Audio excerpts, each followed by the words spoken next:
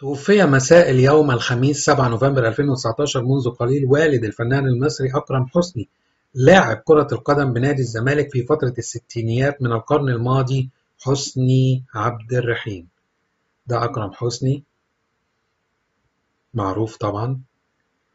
والده كان لاعب في الزمالك. كان مشهور ساعتها اسمه حسني عبد الرحيم. هو اللي عليه الدائرة البيضاء. أكرم أعلن عن وفاة والده عبر حساباته بمواقع التواصل الاجتماعي بقوله أبويا في ذمة الله إنا لله وإنا إليه راجعون.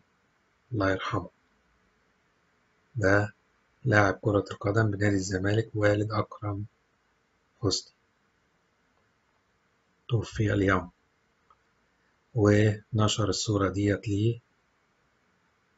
على حسابه على انستجرام وكتب صلاة الجنازة عقب صلاة الجمعة بالجامع الكبير بمدينة الرحاب وجاري تحديد ميعاد ومكان العزاء دعواتكم له بالرحمة والمغفرة. إيه رأيكم؟ في شبه بينهم؟ في شبه طبعا. هنشوف أسرار تانية دلوقتي. كتب على الصورة ديت اللي فاتت بتاعت والده. كل عيد أب وأنت طيب يا أحلى وأجدع وأطيب قلب في الدنيا وربنا يشفيك ويديك الصحة. أبويا الكابتن حسني عبد الرحيم قلب دفاع الزمالك في الستينيات ده أيام عيد ميلاده. برضو منسيش هيثم أحمد زكي ونعاه النهاردة. ونشر الصورة أيضا الطريفة ديت على انستجرام هو اللي على اليمين وأحمد فهمي اللي على الشمال.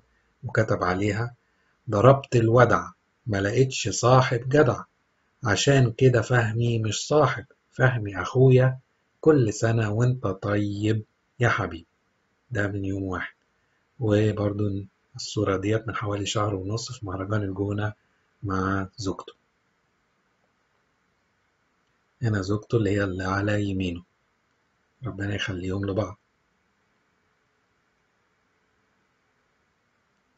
ونشر برضو صورته وهو صغير كان قمر وهو صغير وكتب عليها كل سنة وأنا طيب. الصورة ديت مع المخرج العبقري شريف عرفة ومتصور هو سعيد معاه وكتب عليها.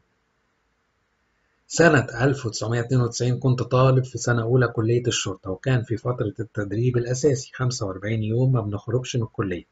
مخصصين يوم في الأسبوع بعد انتهاء زيارة الأهالي للطلبة لمشاهدة فيلم سينمائي في أحد مدرجات الكلية للترفيه عن الطلبة. وطبعا ده كان جاي لي على الطبطاب لأني بحب السينما من صغري. أول يوم عرض كان فيلم الإرهاب والكباب إخراج الأستاذ الكبير شريف عرفة وعمري ما هنسى الخطفة اللي اتخطفتها يومها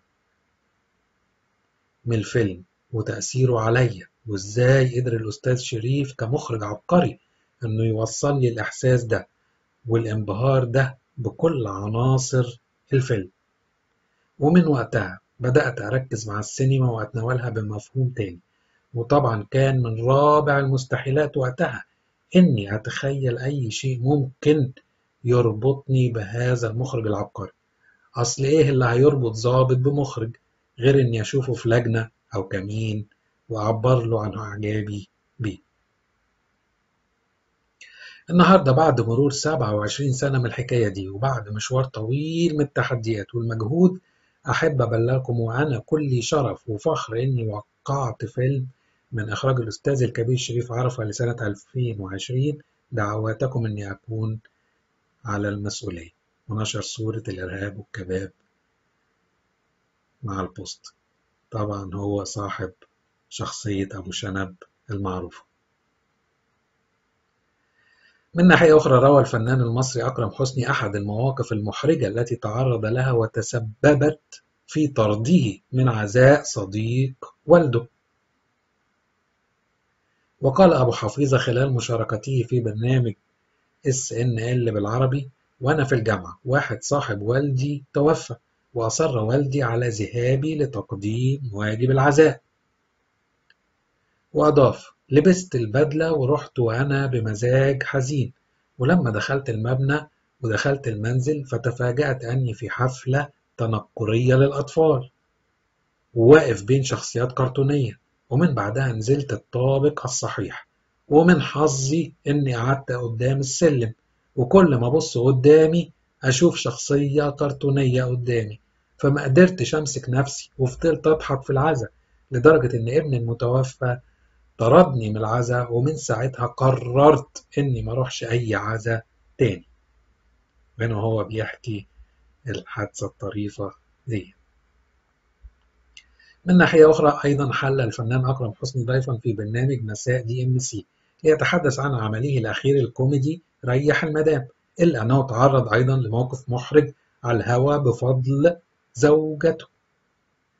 حيث طلبت المذيعة إيمان الخصري من أكرم حسني أن يتلقى اتصالا ويتعرف على المتصل. وعندما بدأ في التواصل مع المتصل حاولت زوجته أن تكشف عن نفسها لأن هي كانت اللي بتتصل بشكل غير مباشر إلا أنه لم يتعرف عليها على الإطلاق. وقال أكرم حسني أنها ليست زوجته حيث أنها خجولة للغاية. ولا يمكنها إجراء مكالمات هاتفية في التلفزيون.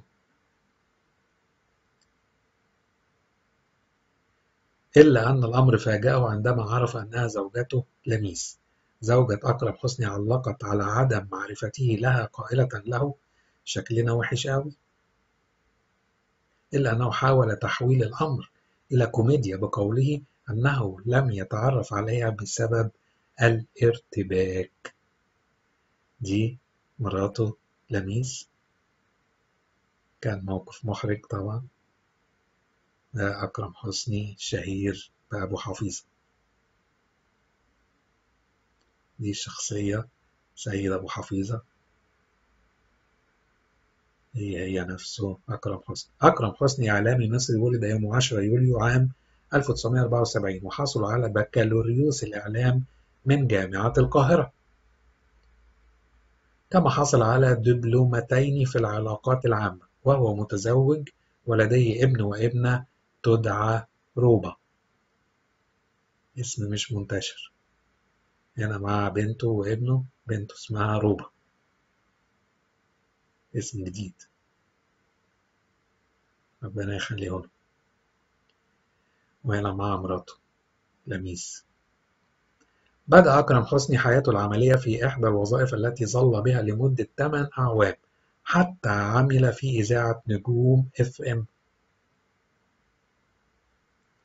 حقق نجاحا ملحوظا من خلال برنامج نشرة أخبار الخامسة والعشرون على قناة موجة كوميدي.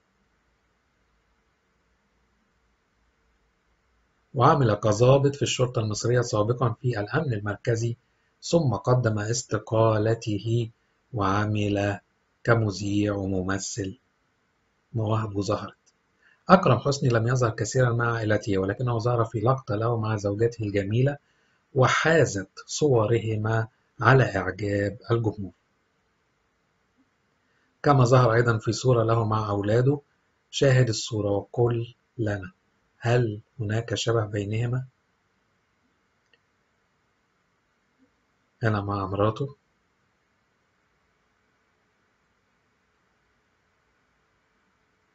وهنا مع ابنه وبنته يا ترى في شبه بينهم.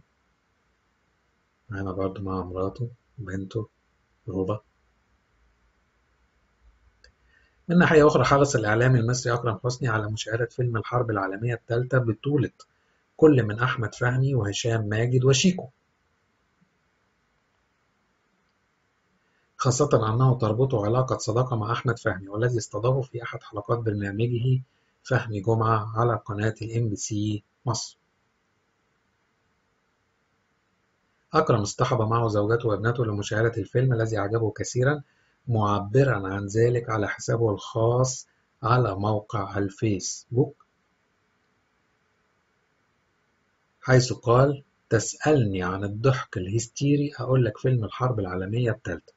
برافو فهمي شيكو هشام.